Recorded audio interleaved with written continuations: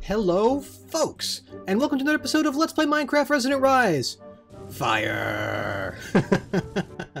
so, uh, welcome back. Um, today's going to be a little bit of a funny episode because I've sort of been playing on and off all day with some friends and uh, just doing some general remodeling of my home, just testing out this cool little running light effect, which is pretty simple. And I was remodeling this, discovering interesting bug with remote I/O. You could use it exactly the way I used it. I was just there's a weird bug where, well, like, check this out. Let me see if I can do it. Here, get a block of sand, and like go boom, and you can see it's actually uh, blue and it's connected. But if you touch it with your mouse, for some reason on my server, it turns red.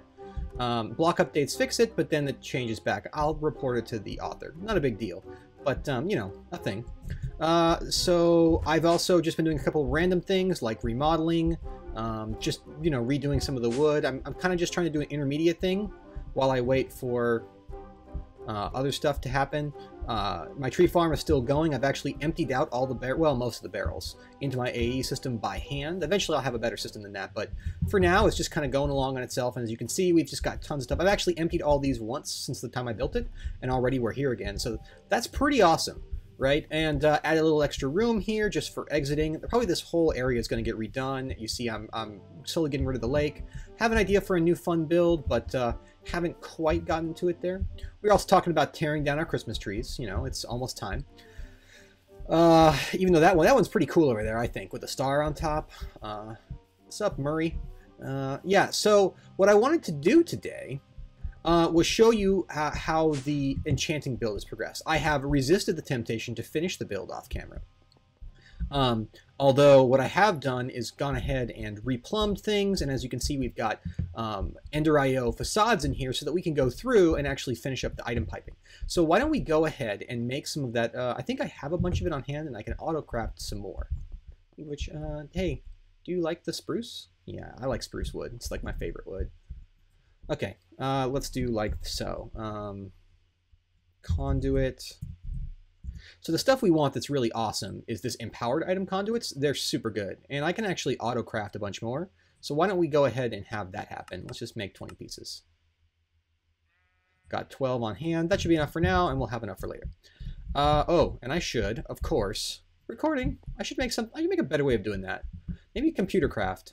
Uh, can't wear the goggles, though. Tricky.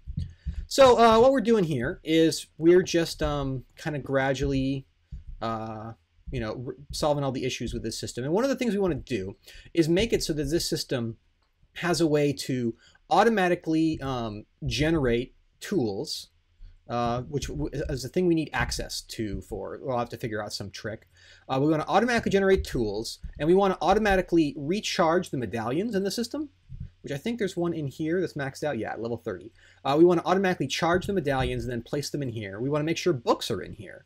And we want to make sure that um, well, we want to make sure that we can constantly supply with the enchantments. Now, I've also moved the, the filing cabinet over here and put ME storage. We've gotten some amazing books coming off of this already, which is really, really cool. So I'm definitely enthusiastic about the uh, potential of this system. Uh, so let's go ahead and put one here. Oh, shoot, that's not what I want at all, is it? Uh, yes. I guess I'll just have to break this for a sec, just to kind of get the angle I need. So what we're going to do is go ahead and use these awesome conduits from Ender.io to um, to solve this the problem that we have at hand. Specifically, the problem is is that we want to do a whole bunch of stuff in a very narrow space, and uh, Ender.io actually really excels at doing that. Uh, you've seen me use it a couple different times. Let's just pop this off. But I enchanted this guy with efficiency 5 unbreaking 3 silk touch ones. Oh, it's an amazing tool. It's actually really, really nice for just kind of a tool for walking around, doing stuff. It's not like a massive excavation tool, but it's very fast and very, very good, and it's rechargeable. It's just, it's great. I'm very happy that I built these. Right, and then uh, finally what we want to do is um, we probably want to get an ME interface in here that we can have this system talk to. So I'll make that in just a sec. But in the meantime, what we'd like to do at the very least is we'd like to have this uh, system, we'd have like to have this system, uh, I guess what we'd like to do is have it extract. Let's see, we can go down here. We'd like to have this extract so it's going to be in-out. The extraction filter, we want to extract full medallions. And then over here in this system, we want to have it as an in-out. This. And for the insertion filter, we want to insert whole medallions. Now I think we want to make it, um, we don't want to make it do, we do want to make it match NBT data, and we want it to match metadata, right? Uh, so let's go ahead and um, toss this in here. It should automatically go over. Oh no. Uh, well, we'll see what we can do here. So if we put this in here, it shouldn't get pulled out just yet. Oh, see, it did something random. And so now we have the empty one, and we have a book of Sonic the Hedgehog 4, Sharpness 3. Hum, I don't know about the Sharpness 3 part, but I'm pretty sure the Sonic the Hedgehog 4 sounds like a lot of fun. We'll have to see about that in a little bit. Um, but what we would like to do is have the extraction, which is should be always on, um, and we'd like it to extract. Do we have it? Did I have a client error, or where did it go? Ah, here.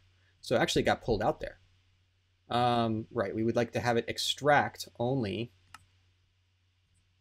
uh, these sorts of things, matching metadata, but probably not matching, well, this is 9803. What was the other one? That's 980330. So we want to match metadata. And we also want it to, and the other one, we want it to ignore um, NBT data.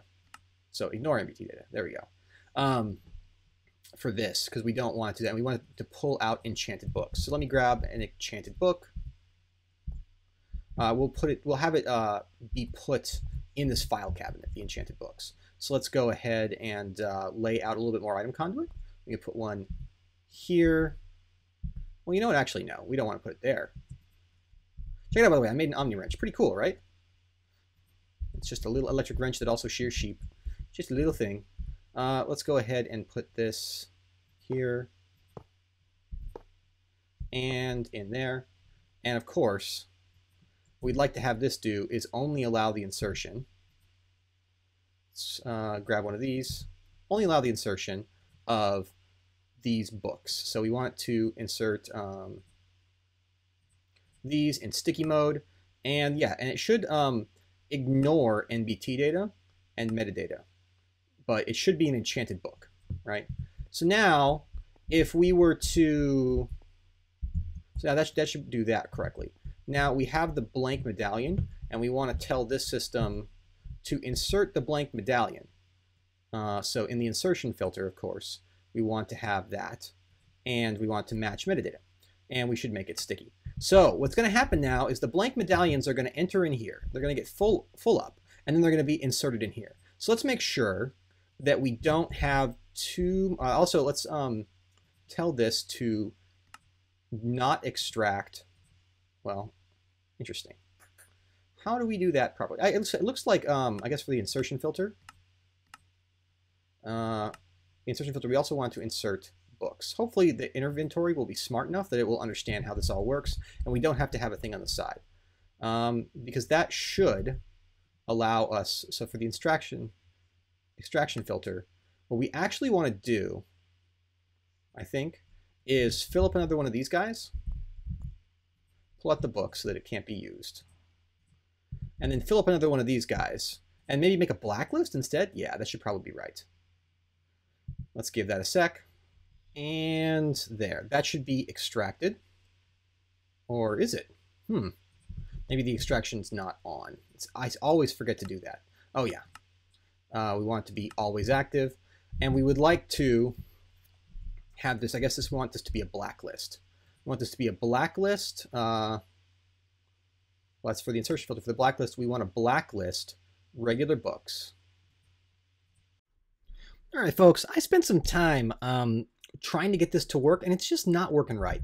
Uh, I think that ultimately these things are sided, and the Ender.io stuff, honestly, has sort of a weirdly hard time dealing with sided stuff.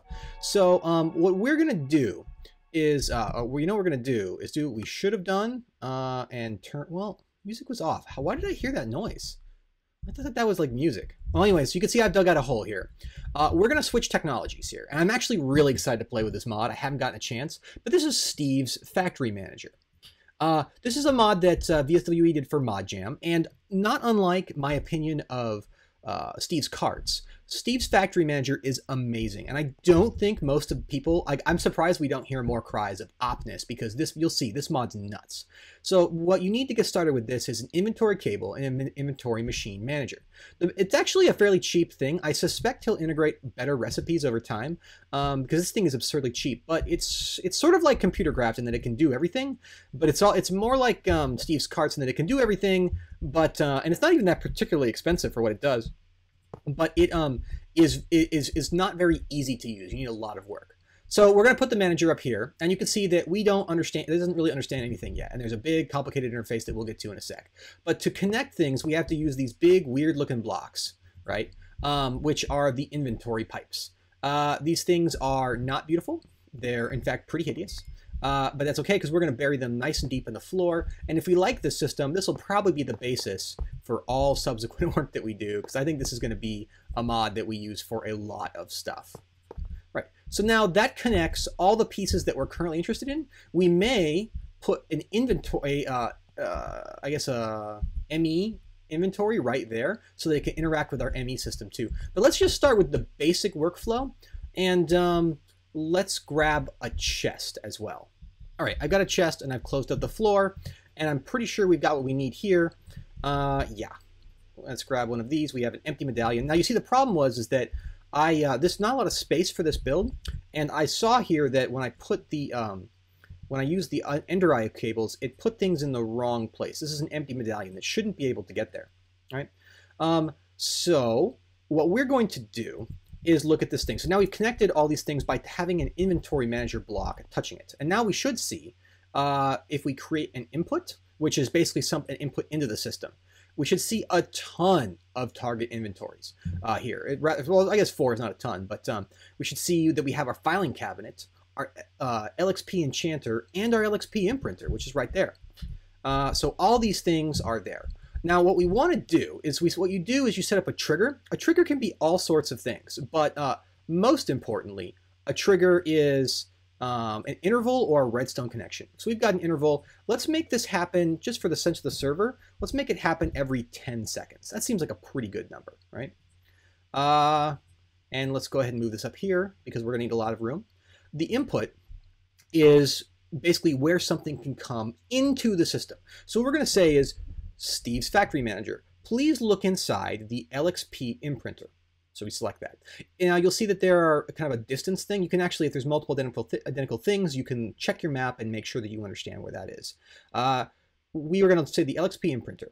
I would like you to pull from the down. Uh, click to use this side. Okay, down. The bottom side. I would like you to pull uh, pretty much anything that's there. The bottom side is pretty much fair game. Um, and then I would like you, yeah, so basically I like you pull from the down. Uh, we could, by the way, to be super cool, we could say, we could look for a medallion, and we could say here we've got a whole bunch of different medallion types. What we'd like to do is pull imbued medallion level 30, I guess. That's interesting that all three of these are in here. That's cool, actually. So we'd like to pull level 30 medallions uh, out. Um, and then we would like to, so, so we would like to put them into an output. Let's create an output right here, as you can see. Um, and that output is an inventory, in this case, the LXP Enchanter. We'd like to have it target the, uh, the west up, the up. Put it in the top. Because uh, it looks like that's what the side is that it really wants. Okay. And um, now what we do is we just basically uh, drag this over here and we tie these all together by touching these two things together, uh, like so. We, we basically click one and click the other. Um, I wish that there was a labeling system for this, uh, but th so far this is a really amazing GUI for Minecraft. I mean, this is totally nuts, right? Um, but yeah, so that's our first workflow. It's going to go to the output, no problem. Um, that's pretty straightforward. Uh, this is a really simple line. So now, basically, whenever there is a um, whenever there is a empty medallion in there, it's going to get processed and put over there. So this takes a few seconds to cook up. So we'll let that cook up and it, we should in a second see it arrive over there. While we're doing that, let's set up a temporary book uh, mechanism. Um, for now, we're going to say that it's going to come from the chest, but we'll build the workflow and then later on replace it with an ME autocrafter that will try and keep some stuff in there. So check this out. This is cool. Uh, we'll make a trigger just like before, uh, like so. Can I make the trigger or are we just experiencing lag? All right, folks, so uh, next we need to get the books, empty books, stocked into the system. So from the, I guess it's that we need to insert on the east side? No, west side. Uh, so that's pretty easy to do. We just have a trigger, an input, which is this chest. Um, and we really don't have to care about pulling out anything, but let's just go ahead and make it the book, the book for now right? And then of course we have an output uh, right here, which naturally is the LXP enchanter west side, and that is for book pretty simple. I like that you don't have to have, and this should be a whitelist, of course. I like that you don't have to have the items on hand. I think that's fantastic. Uh, oh, and we want to um, stock, I think, a specific amount. We can say uh, targets. Let's see, connections. Hmm.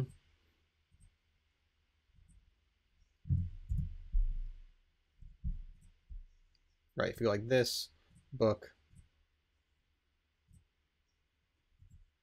and we specify an amount with a right click. So let's just say we want to keep one in there at all times, right? Um, and then we can go ahead and connect these things. And then, ta-da, we're going to have the books be inserted on the east side once the trigger is connected. Uh, it looks like it is. Input, items, whitelist. What's the problem? No direction. Ah, of course uh, we'll pull from this, I guess, the down. And what we should see is books being pulled out and inserted on the west side, although maybe they need to go in the top. Tough to say.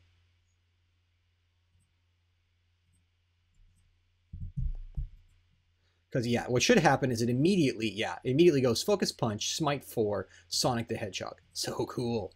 So top is the input side for this device. Um, now let's go ahead and put this back in. So finally, I'm just going to really quickly do the thing that puts these, uh, I'm going to put the enchanted books, I'm going to pull it out of the bottom and put it into the uh, filing cabinet. Let me do that really quick. And just like that, we now have a system that should be starting to uh, pull out items. Um, the real trick here is just figuring out what side. So does it want to pull me to pull this out of the west? There we go. So as you can see, we've pulled it out and we are now refilling this. And that's going to go back in and it's going to try and keep books in there. As and, and we've already been making all these books, right? So now another one's going to end up back in there. And we should have our really cool superbook uh, ending back up in there really fast. And let's go ahead and toss this. We should be able to put this in here. And after a moment, it should vanish. Although I'm not sure. Yeah, there it goes. As you can see, every 10 seconds it tries to pull out. I'm not sure which side it's pulling from that's successful, but it sort of doesn't matter in this case. It's a little sloppy on the build side, but it doesn't matter that much. Uh, but yeah, so now all we have to do is set up a system uh, wherein we keep um, working within the limits of uh, these swords and books. Now, the problem is, is that every sword I've tried has been annihilated in the process. So I'm thinking that maybe what I want to do is try using a sword that has a pretty good enchantment value, but is a little bit more durable. Uh, metallurgy actually adds silver swords. So what we can do is uh, if we were to grab a stick, uh, let's just, I guess we need to craft some sticks, surprisingly. Let's just craft 10, which we can't exactly do, but you know, whatever. And uh, maybe some silver. Maybe we could use silver since we have an awful lot of it. Perhaps that would be, it has a pretty good enchanting value and a lot more durability than gold. So maybe that would be, and also it's very good against werewolves. So perhaps that could be the way that we solve this problem. Uh, and let's go ahead and toss this in there, right? And uh, no, we, it's annihilated in the process, unfortunately. So it looks like no matter what, we're going to have to, I wonder what we just got. That's the one downside of this system. Uh, we can't necessarily see. Oh man, we got so many cool, look at all these cool, oh my gosh. Unbreaking, so, protection, power, potency. We probably got a Book of Unbreaking there. That's probably what we got. We're going to have to figure out uh, an item. Um, it doesn't really matter because all I need to do is go ahead and grab a crafting interface and I could just let it run like it does right now uh, and just start picking up all sorts of fun um, enchants to put on things. And then we can start pulling them apart with the splitter. And then you can also actually recombine them. So for example, uh, I'm not sure if this will actually, well, I don't really want to risk that. Let me go grab a pair of boots and we'll just try one of these goofy enchants on. Right, folks, I got a fresh set of gold boots here. So we can use this in the combiner along with this uh, Sonic the Hedgehog 4 Sharpness 3 book. Sort of doesn't matter with the sharpness. Um, we could easily work that out, but this system is pretty happy to put whatever you want on whatever you want. So we can go ahead, yeah, as you can see, it'll just discard the ones that don't work. So now we have these Sonic the Hedgehog boots. This is an uh, enchantment from Mariculture, which is a mod I haven't really played with very much. So let's see, how do we, how do we get this to work? Oh, I get it. So I just have to hold the Mariculture boost key and whoa, I go flying around. Whee! Oh, this is actually pretty good. This is a pretty good enchant. So this is the Sonic the Hedgehog enchant from Mariculture. Oh man, that's fun. I may actually have to see if I can get this working on my blood armor. It might work even though, even though it's not supposed to. We'll have to see. Now that we can. So maybe what I should do is actually not put a tool in there for now and just go ahead and finish the book crafting part. So let's go ahead and do that. But first, let me just put back on I wonder why the skin server's down. Let's go ahead and put back on, I should, uh, our regular armor and get the interface that I started crafting a little while ago. Should be really easy to just toss in here. We, this is still pretty fast. I like this speed. Not bad at all. Um, it should be trivial to add because all we have to do is uh, toss this in here and then um, grab a book.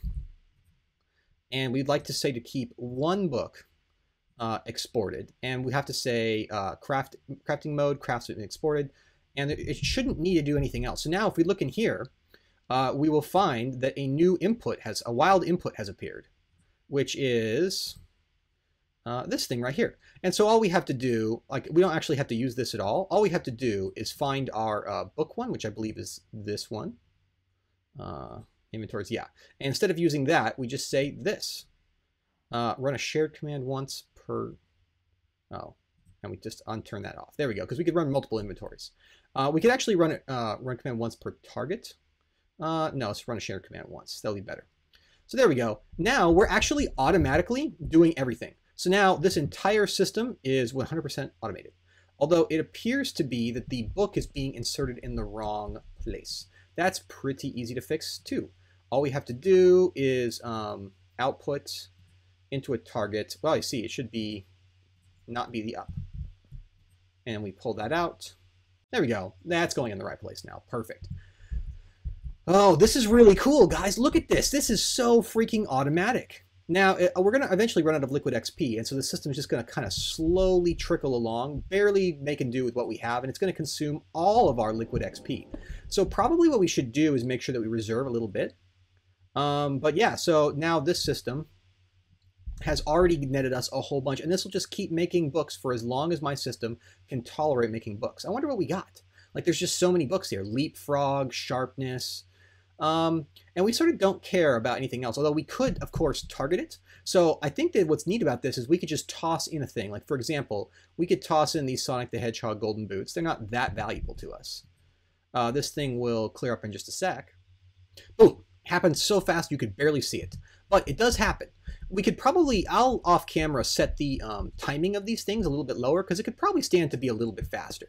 But with that, folks, this is pretty dang cool because we've got this entire system automated like clockwork. It's easy on the system. We're using all of our resources. We're getting a ton of books. We have tons of storage. It's integrated with AE. I mean, I don't know what more you could ask for from an auto enchanter. And what's even even better is that this whole system is predicated on our existing blood drive, which already is, is making a ton of benefit for us. So really the whole thing is just super cool. Um, with that, folks, I think we've probably gotten really close to the wrapping up point. Um, I'm trying to make my episodes a little bit shorter. Uh, I will have a little bit of like, uh, um, I'm trying to make it a little bit shorter because I'm trying to have three episodes a week that are shorter rather than two episodes a week that are slightly longer. You can tell me in the comments, please do, if you like that idea or if you prefer the 30 minute factor. Um, I've just, what's that hole doing there? Weird. I've just noticed that it seems like people, I get a lot more uh, engagement from folks. People seem to enjoy it more when I have slightly shorter episodes and more of them, or if I do more episodes a week. I can't do three 30 minute episodes a week. It's just not possible.